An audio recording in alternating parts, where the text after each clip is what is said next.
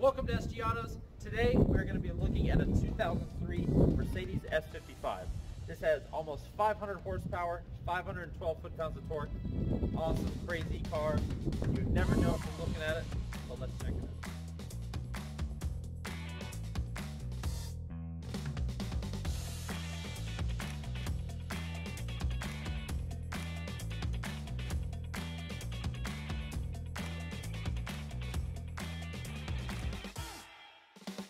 Now, of course, everybody knows the name Mercedes. Uh, they're a huge international company. They have some of the most amazing engines and amazing cars and innovative stuff out there on the market. And Mercedes is known, obviously, as a very high-class car. And this one here originally was over $100,000. But now you can buy this car for 10000 6000 15,000 depending on how many miles and things like that. So you can have a 500 horsepower car that, that puts down supercar numbers 0 to 60 in 4.5 seconds I believe. Uh, again, like I said, 493 horsepower, 512 foot-pounds of torque uh, in, in the most comfortable car you're going to ever be in. And you can get that for less than $10,000.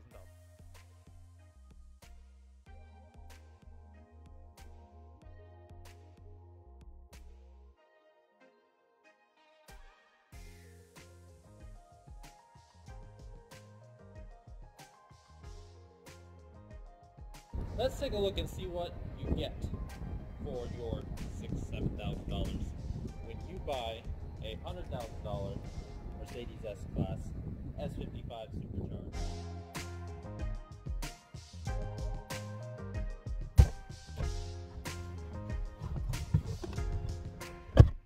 Now, anytime you buy a hundred thousand dollar luxury car, you're gonna look it over pretty well one thing you're going to look at is your rear seat space. Now this is an S-Class, and S-Classes in a lot of cases were used to chauffeur people.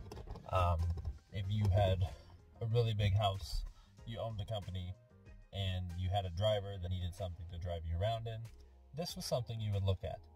Now, this being the S55, the AMG version, this is a little bit more of a driver's car, so most likely whoever bought this originally intended to drive it themselves because trust me, you want to drive it.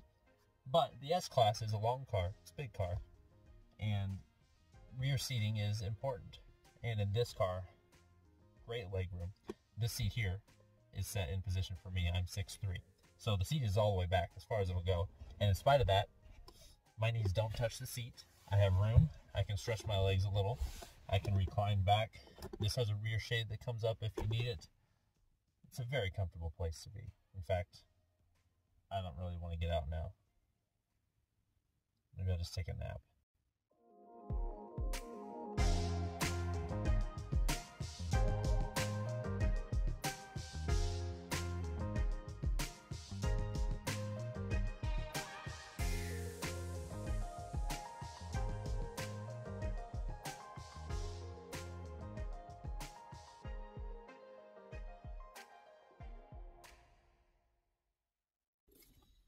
Now, one thing, like I said earlier, Mercedes is very innovative. They're they were very ahead of the time, even in a car. This is a 2003. In 2003, this car had uh, Distronic cruise, basically where you pull up behind someone and you're on cruise control, the car will slow down to match their speed until you pass them. That's something that is advertised on new cars now as as sort of a newish feature. And Mercedes had that in 2003. Of course, it had backup sensors and backup cameras and different things like that as well. Uh, back before, it was cool to have. And so Mercedes did a really good job with that. There's tons of tech. Uh, this has a hydraulic suspension system, which is very expensive to fix, and it does occasionally break down. So if you buy one of these, budget for that, because at some point you're going to have to fix something with your suspension. But what that hydraulic suspension allows you to do is have this huge, heavy car turn into a race car. And it is amazing what this thing can do. Uh, it has an ABC Sport suspension button, which uh, basically lowers the car down a little bit.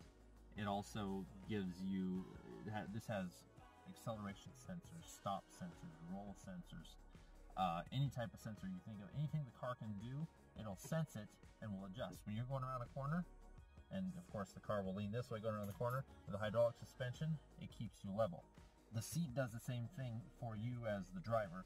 There's an ABC button here, sport button right down here. When you hit that, it the seat bolsters is run by air, and it keeps you in the seat. It moves the seat when you move the car. It's crazy. And this is a 2003. This is a this is a, a 20 year old car with technology that's, that's just absolutely crazy. But enough about that. The best part about this car 5 liter, 5.5 liter, excuse me, supercharged V8 under the hood. This thing is crazy.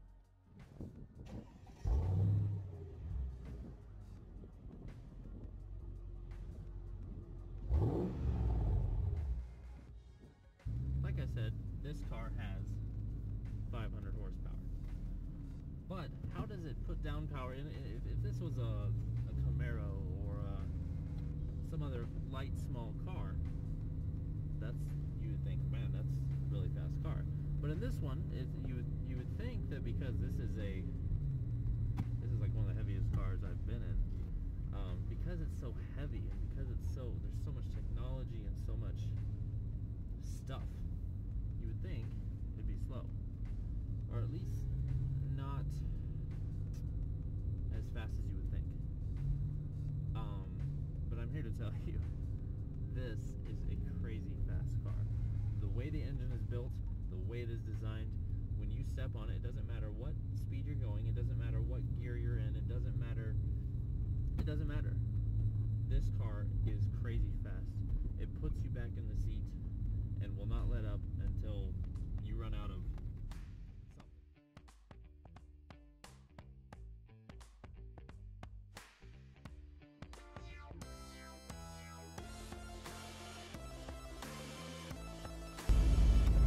horsepower this car has and how quickly it happens.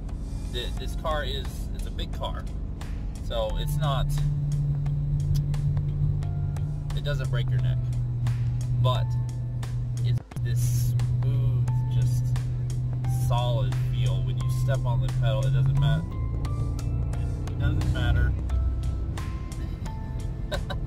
it doesn't matter what speed you're going.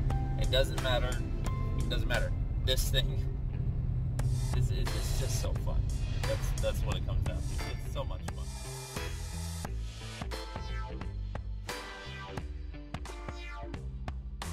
Of course, being a ridiculous luxury car, this has things that are ridiculous and you don't need. For instance, these guys right here. You have a little rear area. See that guy pops down there? It's actually a mirror for you when you're sitting in the rear and you want to fix your makeup or fix your hair or whatever.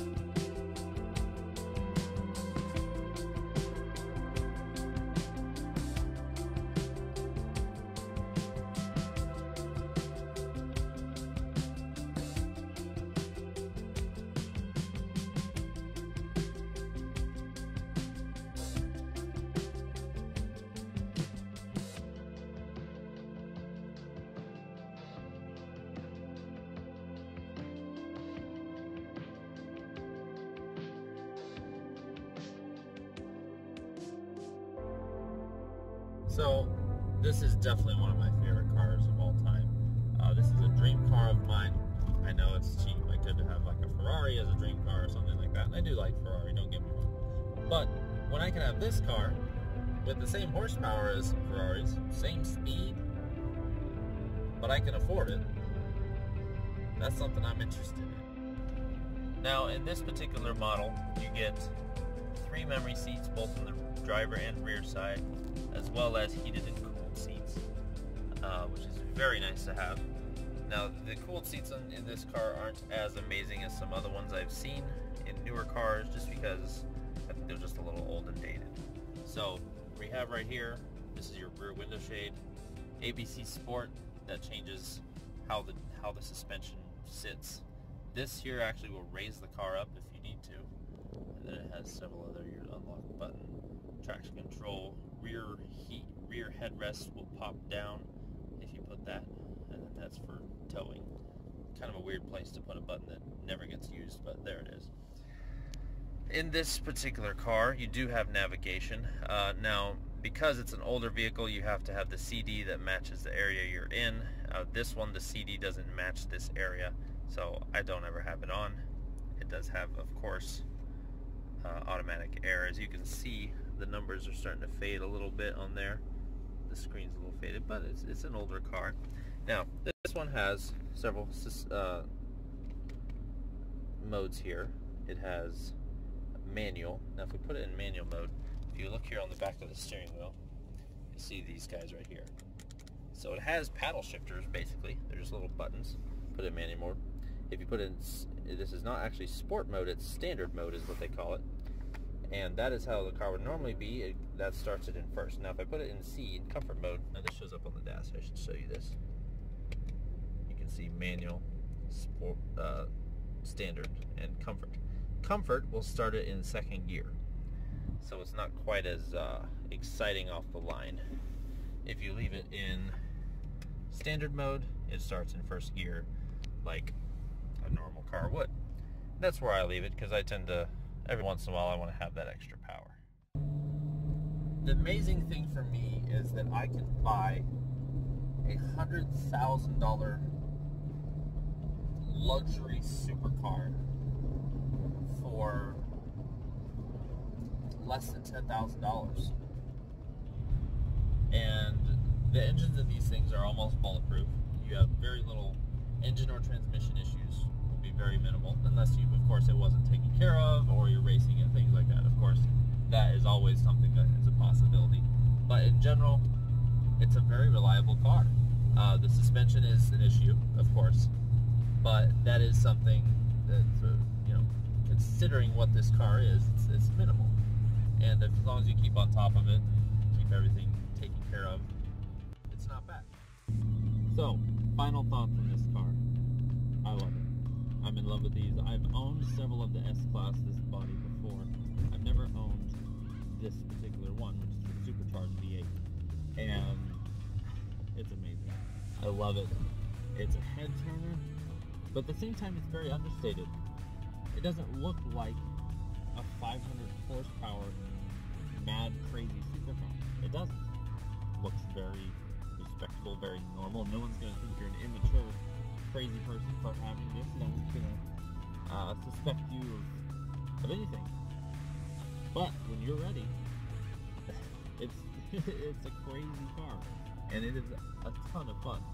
So, if you're on a budget, you have a little bit of money to spend, but not a lot, check one of these out. They're rare too. They're hard to find. But if you can find Thanks for watching SG Autos today, guys. I hope this was a good video. If this is something you're interested in, get it. These things are amazing.